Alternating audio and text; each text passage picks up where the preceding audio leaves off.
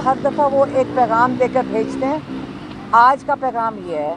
उन्होंने कहा, इमरान खान ने कि जो 9 फरवरी को जो तारीख रकम हुई है, उन्होंने कहा, दुनिया की तारीख में इस किस्म की धांधली का आगाज़ नहीं होगा जो 9 फरवरी को पाकिस्तान में हुआ।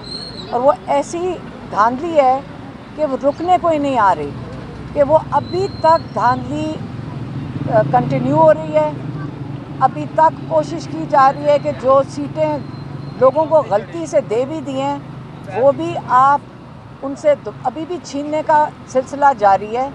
रिकाउंटिंग पे ले जाते हैं। रिकाउंटिंग के वक्त लोगों की सीटें, अब कोई 10-12 सीटें जो हम पढ़ रहे हैं कि 10-12 सीटें उन्होंने और लोगों के मुँह से निकालनी है मतलब जो वोट दे दिया है। लेकिन इस चीज़ पे उन्होंने कहा कि ये क्लियर हो जाए। ये वोट कैंडिडेट्स का नहीं था। ये वोट अवाम का था। और जो पीटीआई के ऊपर उन्होंने बात ये की कि पीटीआई के साथ तो ये हुआ है कि दो साल तकरीबन हो गए हैं। आप ये सोच लें कि दो साल से लोगों को पकड़ धकर हो रही है, उनको अबडक्शन उनकी हो रही है, उनको घरों से, उनके घर तोड़े जा रहे हैं, उनकी फैमिलीज़ को अटैक हो रहा है। हमारे साथ भी खातन खड़ी हैं जो जेल काट कर आई हुई हैं। ये जेल इन खातन ने भी काटी हुई है यहाँ पे रज़िया सुल्ताना खड़ी हैं, ये जेल काट के आई हुई हैं, ये बेल के ऊपर हैं। अब तो आपके सामने वो खातन खड़ी हैं जहाँ वो बेलों पे हैं। तो ये पाकिस्तान में जो जुल्म किया गया है, लोगों ने उसको समझ लिया है, लोगों ने उसके ऊपर वोट दिया है, और इस वक्त ये वोट कैंडिडेट्स का नहीं था, ये अवाम का फैसला था। अब जो चोरी हो रहा है मैंडेट वो अवाम का मैंडेट चोरी हो रहा है। और लोगों के अगर आप लोगों की शक्लें देखें, लोगों की वो सारे इस वक्त खुशियाँ मना रहे हैं क्योंकि उन्होंने जीत लिए जो वोट लिए जो लोगों ने, ये जीत लोगों की है। और जो अफसरदा बैठे हैं, जो इस चोरी का वोट लेकर बैठे हैं असम्बलियों में, वो इस वक्त परेशान बैठे हैं। ये ऐसा वोट है कि वो उस बोझ तले के नीचे, वो अब इस वक्त खुश भी नहीं लग रहे जब आप उनको टीवी पे देखते हैं। उन्होंने इंडिया का बात की, उन्होंने कहा, चंडीगढ़ में एक इलेक्शन हुआ है, जिसके अंदर आरोज ने यही हरकत की बीजेपी के लिए। उन्होंने उनका लोग, लोगों को बाहर निकाल दिया आरोज ने, वोट उनका इसी तरह ही रिक किया। लेकिन फिर क्या हुआ? सुप्रीम कोर्ट ने उसी दिन फैसला करके उसको जो रिगिंग थी, उसको कैंसिल करवाया। अब ये वो खान साहब उम्मीद रखते हैं कि हमारा सुप्रीम कोर्ट भी जो जो हरकतें हो रही हैं इस वक्त लोगों का मैंडेट चोरी करने की, इसके लिए सुप्रीम कोर्ट भी फैसला करेगा, जिसके अंदर वो अवाम की बेहतरी और अवाम का जो फैसला है उसके मुताबिक करेंगे। लोगों का मैंडेट वापस दिया जाएगा और ये अब सारी बात चली जाती है सुप्रीम कोर्ट के पास। ये इमरान खान का मैसेज था, वो मैंने आप तक पहुँचा दिया कि ये मदर ऑफ़ ऑल जो धांधली है जिसके अंदर तारीख रकम होगी उसका मैंने आपको बता दिया। फिर भी कहेगा कि आज प्रतिदिन की कार्रवाई उस पर भी कोई बात हुई और अभी जो सुझाव के हवाले से हम नौकरी के लिए भी गए हैं तो अभी क्या कानूनी तौर पर आप क्या मजीद स्टेप्स ले रहे हैं? देखें ये हाई कोर्ट में जा चुके हैं।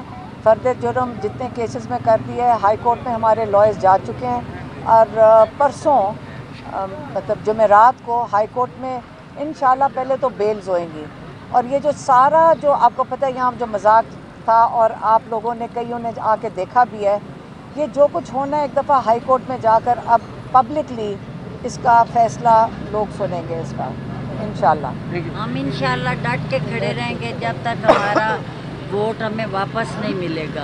हम कभी भी नहीं डरेंगे कभी भी नहीं झुकेंगे। और ये, हम ये बिल्कुल आखिरी हद तक जाएँगे अपना मैंडेट वापस लेंगे इनसे चोरी किया हुआ वोट वापस आ, हाँ, और ये जो मैंडेट है इसके ऊपर मैं ये बिल्कुल रजिया सुल्तान ने सही बात की कि जो मैंडेट के लिए उसका भी मैं अपडेट दे दूँ। इसका सारा डाटा सारा डाटा वेबसाइट पे अपलोड हो रहा है। एक एक फॉर्म अपलोड होएगी सारी दुनिया देखेगी। और ये सारी ये इनके ऊपर ये इनकी भूल है कि आपका ख्याल है कि जो असम्बली लग गई है सारा मैंडेट लोग अपना मैंडेट वापस लेंगे। ये कोई पाँच साल की बात नहीं है कई महीनों की बात नहीं है। जब ये हाई कोर्ट और सुप्रीम कोर्ट में जाएगा सब जजेस को समझ आ जाएगी कि कितनी बुरी तरह धांधली की गई है। पूरे पाकिस्तान में फॉर्म 45, फॉर्म 46, 47, 48 सबको समझ आ गई है। अवाम का आखिरी हक वोट था वो भी इन्होंने चोरी और जिस तरह इन्होंने बाकी आरोस चोरियाँ को तो प्रेशराइज किया है। लेकिन वोट चोरी भी इन्होंने अवाम का कर लिया। जिस तरह इन्होंने आरोस का प्रेशराइज किया। है हम वहाँ पे खड़े होके हमने देखा है कि आरोस जो है वो हॉस्टेज थे लिटरली यकीन करें कि उन पे हमें मुझे दुख हो रहा था तकलीफ़ हो रही थी कि वो आरोस बेचारे बेबस थे कि हम क्या करें क्योंकि हमारे 45 फार्म था और 47 वो हमें वो ना अपलोड कर रहे थे आखिरी 10 हमारे रह गए थे और वो जानबूझ के उन्होंने कहा सिस्टम ही बैठ गया अच्छा, है और क्योंकि हम बड़ी पच्चीस से तीस हज़ार की हम लीड से कोर्ट वमन में हम जीत रहे थे। और मैं सुबह सात बजे से लेके एक बजे तक वहाँ पे बैठी और वहाँ पे हमने ज़बरदस्ती सारी दुनिया को बाहर बुलाया और एक तरह तरह से छीना वहाँ से हमने। ये जो कोर्ट मोमन का मौसन रांझा का ये मैं बता रही हूँ कि मौसन रांझा बिल्कुल अपनी सुल्तनत जो 35 साल की थी वो नहीं छोड़ना चाहता था। और जिस तरह हमने वो सुल्तनत वापस ली है, वो हमें ही पता है कि जिस तरह हारोस को हॉस्टेज बनाया गया, जिस तरह प्रेशराइज किया गया, ऊपर से लेके नीचे तक अब फ़ोन मेरे सामने चाह रहे थे सुबह सात बजे से लेके एक बजे तक की मैं गवाह हूँ कि वहाँ पे क्या क्या हुआ है। और अगर वो खोल के बता दें यहाँ पे तो यकीन करें कि वहाँ पे पता चल जाए कि क्या असल में कौन सी ताकत है पीछे बैठी जो ये सब कुछ कर रही अच्छा, थी। लेकिन अल्लाह का शुक्र है। कमिश्नर कमिश्नर के बारे में ये बता दीजिएगा कि मरियम नवाज़ अब उन्होंने कल हलफ ले लिया बतौर वज़ीर अला का। इसी जेल के अंदर नवाज़ शरीफ भी रह के गए हैं और नून लीग की लीडरशिप भी रही है।